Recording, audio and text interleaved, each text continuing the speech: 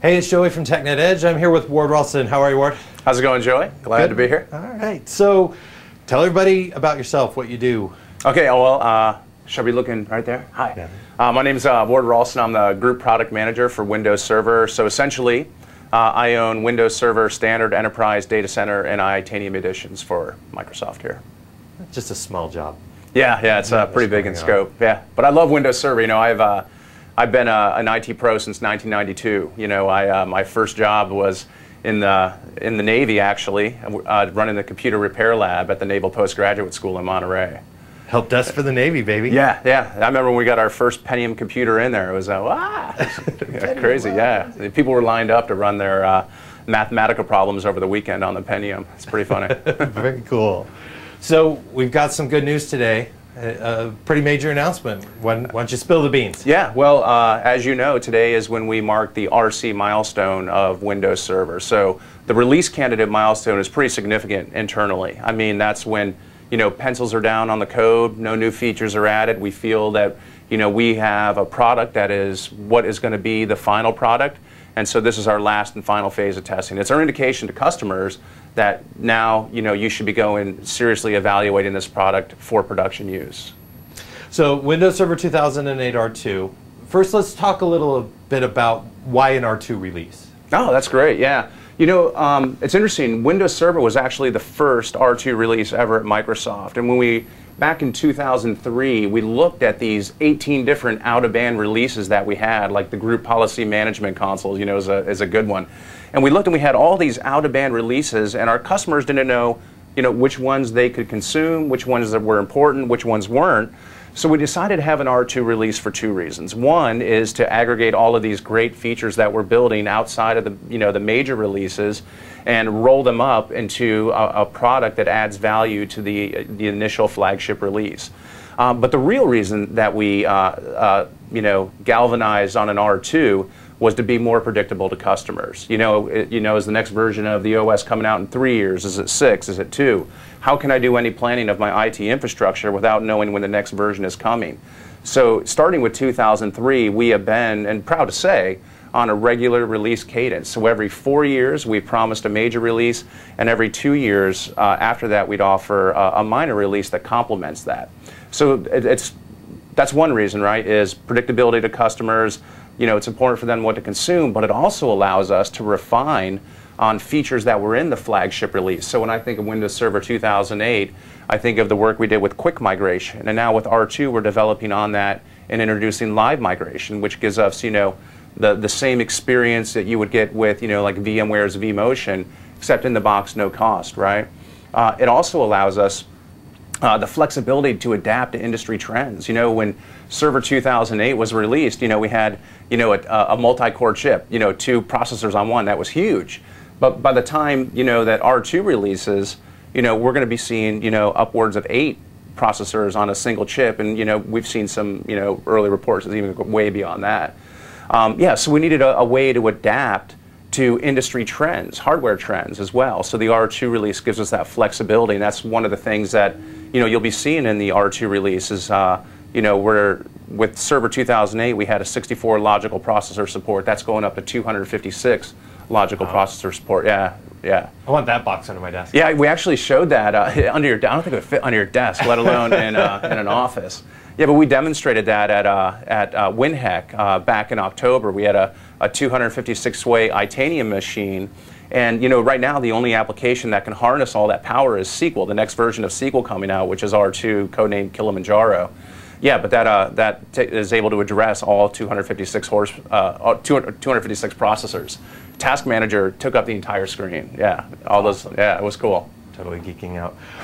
Let's talk about some of the new features um, that that IT pros should really care about that, that are that are in R2. Some of the work that you guys have, have gone through Yeah. to, to really kind of make this release stand out. You know, when I when I think you know when I think about the IT pro, I think about you know my my uh, days as an IT pro and what made life easier for me, and a lot of that boiled down to management. You know, and there's a lot of big management things we're doing, and there's a lot of little management things that just make your day-to-day life easier. Um, for example, I think one of the biggest things that's going to you know keep an IT pro at home in their bunny slippers administering the servers is PowerShell. So we've offered some powerful remoting capabilities, right? So we you know, can now work with WinRS and WinRM over firewall-friendly ports to administer a machine no matter where it is. Um, but one of the things that we're introducing with PowerShell, and more specifically PowerShell 2.0 in R2, is hundreds of commandlets designed with IT administration in mind. Um, so what you're going to see is commandlets for every major role in the server. I think we're up over 240 commandlets right now that we're putting in the box to make that day-to-day -day administration easier. And one of the things also that we're doing, which is we're, we're testing it out with R2, and you're going to see that as we look you know, to you know, Windows 8 and future versions, is we're actually building our MMCs on top of PowerShell. So one of the things that's new, and I, you know, a lot of people don't. There's a couple of things I could tell you. A lot of people don't even know about yet.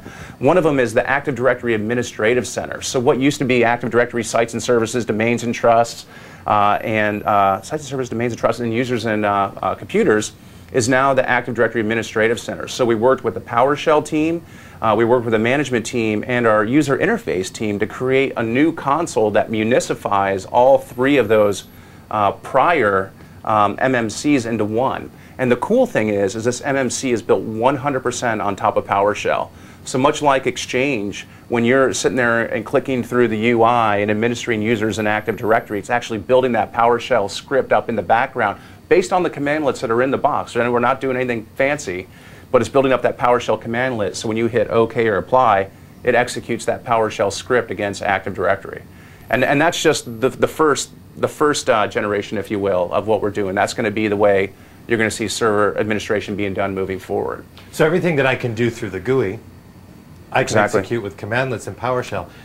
And do I have to be, see, one of, one of the, the problems I had with PowerShell initially, and coming from an IT pro background yeah, yeah. as well, is I got to learn all this WMI code. I've got to learn all this stuff just to get the things to run. Is it yeah. made easier with these commandlets? Oh yeah, yeah, absolutely. And you know, even even if you're an IT pro who you know may not be the scripting guru, you know, you can still leverage PowerShell through things like the Active Directory Administrative Center, right? And still be able to, you know, reuse those scripts for one-to-many management later.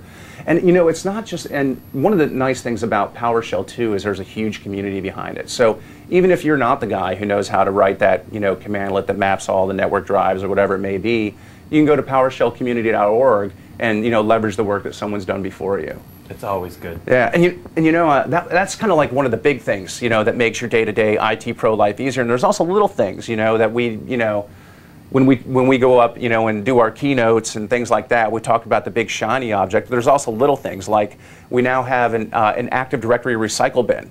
So if you accidentally delete a user or a group, you don't have to go in safe mode and do an authoritative restore. You simply just undelete that object from the AD recycle bin, which is pretty cool, you know. That is that's really cool. That's really cool stuff. Um, you mentioned administration in your bunny slippers. Yeah. Uh, what else do we have in, in, in terms of of that? You know, a lot of the world is, is going to, to remote computing. Yeah, Are there new yeah. features in R2 to really kind of enhance that? Yeah, you know,